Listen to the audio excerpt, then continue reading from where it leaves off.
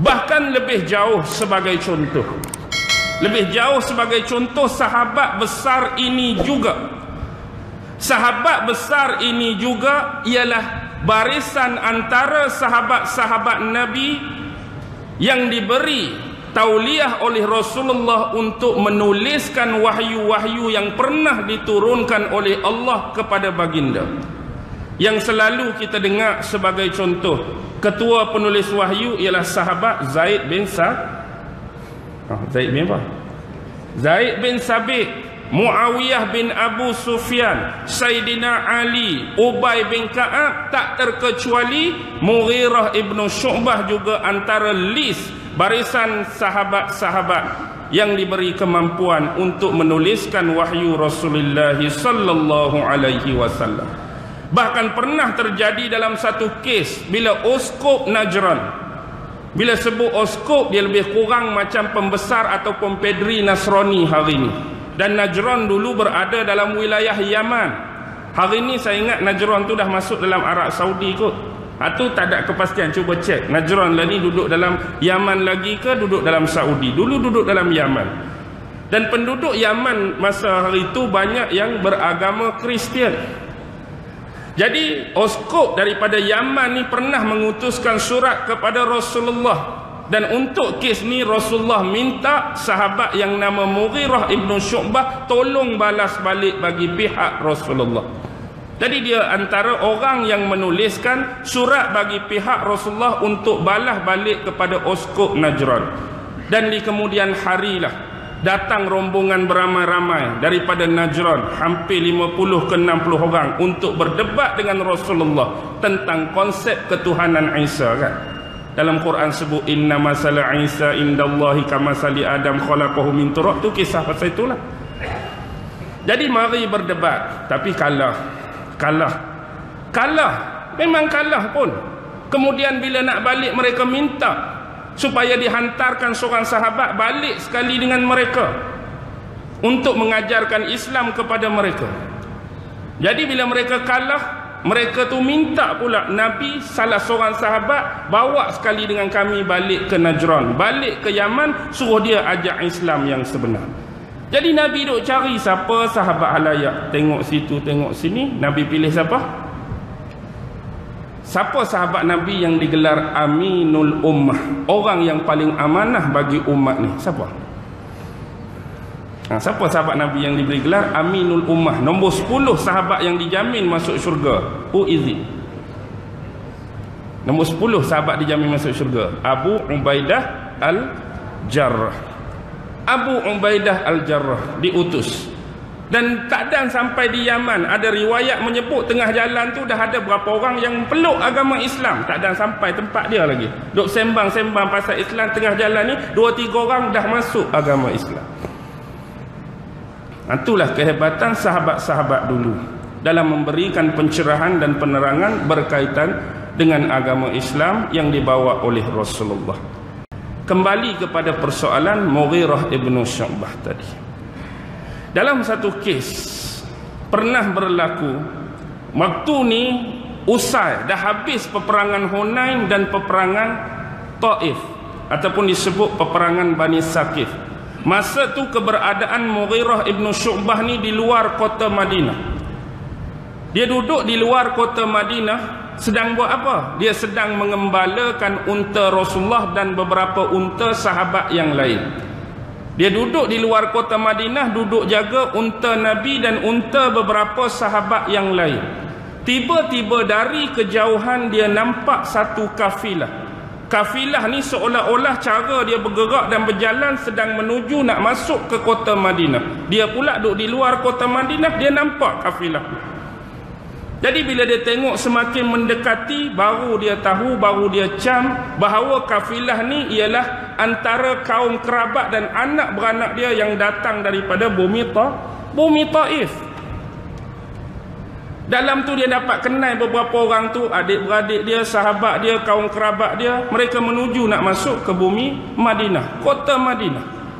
Dan hal keberadaan ni dia pun bersungguh lah nak bagi tahu orang yang paling utama nak bagi tahu siapa agak-agak. Dah awal nak datang ni rombongan besar ni nak bagi tahu kat siapa? Kat na nabi.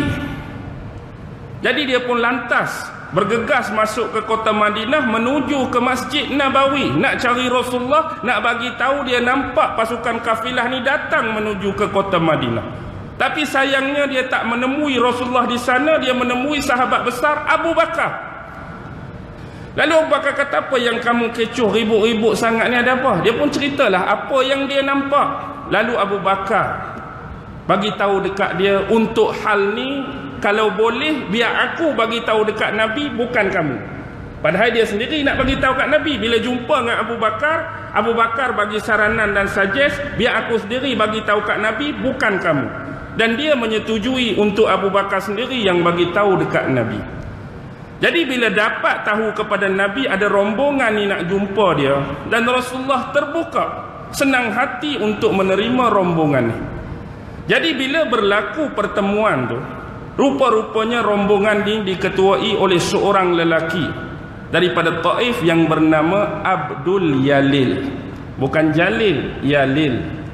Abdul Yalil. Tujuan utama kedatangan mereka ialah kerana mereka takut mereka akan kena serang dekat Rasulullah. Mereka takut Rasulullah akan pi ke Taif dan serang orang-orang di Taif. Tiba-tiba, pasal apa? Sebab terjadinya kes pembunuh pembunuhan. Pembunuhan siapa? Pembunuhan salah seorang sahabat hak masuk Islam. Siapa? Hak dia duduk bergaduh depan Nabi tadilah. Urwah bin Mas'ud As-Saqafi tu. Hak tadi masa perjanjian Hudaibiyah. Dan ni lepas pada perang apa? Perang Hunain lepas daripada peperangan Taif tu kawan tu masuk Islam. Bila masuk Islam dia balik semula ke tempat dia di Taif dia kena bunuh. Berita ni tak sampai lagi dekat Nabi. Berita ni tak sampai lagi dekat sahabat kawan tu awal-awal datang takut bila Nabi tahu oh sahabat kita kena bunuh mari kita pergi serang. Ha. jadi takut Nabi pergi serang tu mari-mari jumpa Nabi. Bagi tahu hak sebenar bahawa Urwah bin Mas'ud dah terbunuh. Jadi takut Nabi serang mereka main tarik tali. Mereka minta kepada Nabi bahawa kami semua datang ni nak memeluk agama is Islam. Mari ramai-ramai ni kami nak peluk agama Islam tetapi walaupun kami nak peluk bukan peluk lagu tu saja. Kami nak peluk ni minta persyaratan. Persyaratan dia ada lima. Tetapi hak empat awal disebut. Wahai Rasulullah. Kalau kami ni peluk agama Islam. Masuk agama Islam. Tetapi biarkanlah kami ni diperbolehkan untuk minum arak. minta pun agak-agak lah dah. Dia janji dengan Nabi nak masuk Islam. Tapi walaupun masuk Islam, biar Nabi bolehkan geng-geng depa ni walaupun Islam boleh minum arak. Yang kedua, kalau kami ni dah peluk masuk agama Islam selain minum arak, kami juga diperbolehkan untuk berzina. Oh, minta berzina pula. Yang ketiga, kalau kami masuk Islam perlu Islam diperbolehkan kami dalam bab ekonomi dan muamalah untuk mengamalkan riba. Ha, masuk Islam tapi bab ekonomi dan muamalah riba masih boleh kami lakukan. Dan yang keempat, kalau kami masuk Islam, kalau kami peluk Islam, hak ni ni memang kena ketuk kepala lah. Kami ni dikecualikan daripada solat, tak payah semayang, boleh ke tak? Agak-agak empat ni Nabi terima tak? Kalau kita tengok pun Masuk Islam boleh minum arak. Kami masuk Islam boleh berzina. Kami masuk Islam boleh makan riba. Kami masuk Islam tak payah semayang. Tak apa kalau tu Memang Rasulullah tolak empat-empat. Sebab yang mereka sebut tu adalah basic asas. Semayang tu kewajipan. Bab riba, bab zina, bab minum arak tu adalah cegahan yang paling utama dalam agama bahkan bukan dalam agama Islam agama-agama samawi sebelum ni totally Yahudi atau Nasrani atau Islam menolak perlakuan zina, menolak meminum khamar, menimun arak dan perkara-perkara yang memabukkan, menolak amalan riba. Jadi tak boleh. Tak boleh minta lagi. Ini ha, last.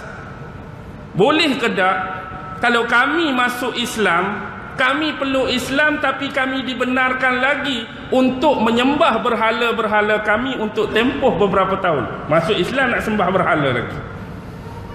Dah tu tak boleh empat depan tu nak dia nak sembah berhala pula minta dengan Nabi. Dan kondisi ni berlaku dalam beberapa reaksi. Mula-mula dia minta beberapa tahun. Lepas tu kalau kami rasa okey kami tinggal lah tapi bila Nabi tak bagi, dia cuba kendurkan. Kalaulah tak leh beberapa tahun, kami minta lah untuk beberapa bulan boleh tak? Masuk Islam tapi berapa bulan saja kami boleh sembah. Nabi tak bagi. Bila tak bagi, dia kendur lagi. Beberapa minggu boleh tak? Bila tak boleh berapa minggu, beberapa hari boleh tak? Beberapa hari. Tak boleh juga. Bila tak boleh juga, mereka keras seolah-olah. Mereka ni seolah-olah nak masuk Islam tapi kerana takutkan ancaman daripada Nabi, takut diperangi, takut dibunuh, nak masuk Islam gaya lagu tu. Akhirnya, kalau kamu dah masuk Islam, apa keperluan lagi patung-patung berhala tu berada di bumi kamu?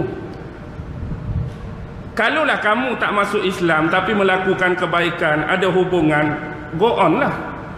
Tapi sekarang ni kamu janji nak masuk Islam, nak peluk Islam. Apa keperluan patung-patung berhala tu ada lagi?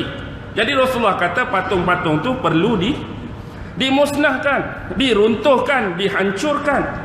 Dan dia pun berjanji, kalaulah boleh, bukan tangan-tangan kami sendiri yang hancurkan berhala tu. Orang lain tolong pelacur. Tak mau lagi tu maksudnya tu. Kalau kira. Kalau kira dia ni sungguh-sungguh dah jadi Islam, tak apa, kamilah orang yang pertama orang kampung sendiri yang hancurkan berhala ni. Itu baru sungguh-sungguh. Ni kalau boleh bukan tangan kami, orang lain lah kalau nak peracun.